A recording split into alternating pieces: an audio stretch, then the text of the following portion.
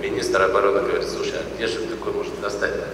Я говорю, вот я помогу всему Министерству обороны, мы сможем обеспечить все Министерство обороны Казахстана э, нашими телефонами. И, наверное, скоро уже появятся и э, планшеты на базе э, Йота и э, другие, в том числе и учебники. Мы над этим сейчас работаем. Вот здесь присутствует э, Владимир Мартынов, директор Yota Devices. Я думаю, что он наверняка вам уже рассказал о своих планах. Правда, кое-какие планы еще секретные, не хочет все показывать, но тем не менее они есть. К сожалению, доля импорта в сфере российских IT составляет э, практически 100%. В например, только 10% продукции можно считать условно отечественной.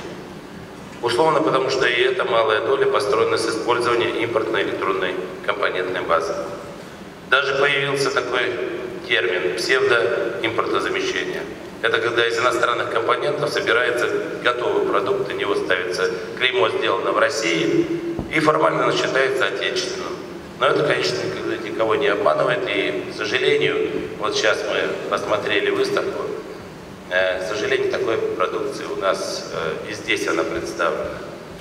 Э, хотелось бы, конечно, чтобы со временем, может быть, через год, через два, через три, через пять, когда наш э, Иннополис заработает на полную мощность, мы все-таки сможем создать максимально свою отечественную э, продукцию.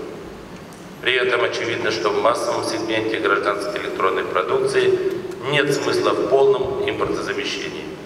Но она критично, критически важна в областях, которые связаны с защитой стратегических интересов страны ее промышленности и экономики.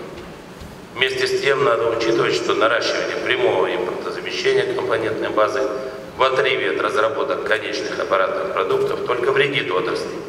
Пока создается российский аналог, зарубежные разработки не стоят на месте. Поэтому здесь необходим не системный подход и комплексные целевые проекты.